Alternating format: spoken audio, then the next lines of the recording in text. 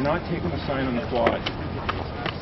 You do not violate my charter freedoms, which you are. This is a prohibited activity. I am not violating your charter freedom. My charter freedoms says that I have freedom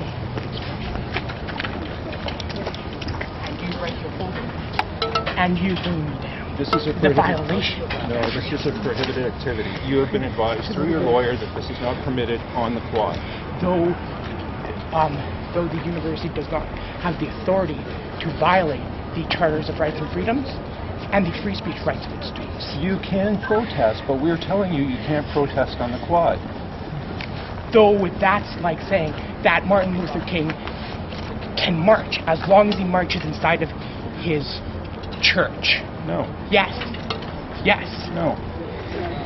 You are saying that we can protest as long as it's behind closed doors where where normal students can't walk by and People have a choice in terms of what they want to view, okay?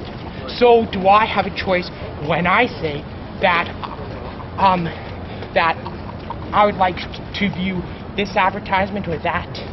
Do I have the choice Yes, you do. when I say and in that same way people have the choice to look away from something that they don't wish Well, to see but you don't censor This, this their through, free This is through your legal counsel, okay?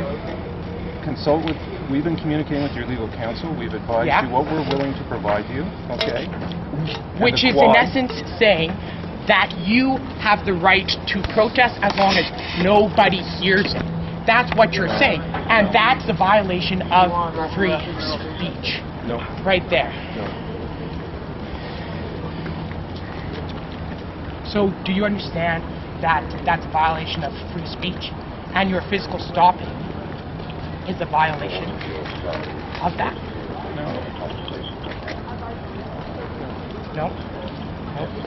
So then will you please release No, my property? Because this is not permitted to be on the. Okay? Uh-huh. However, that's a violation of our free speech.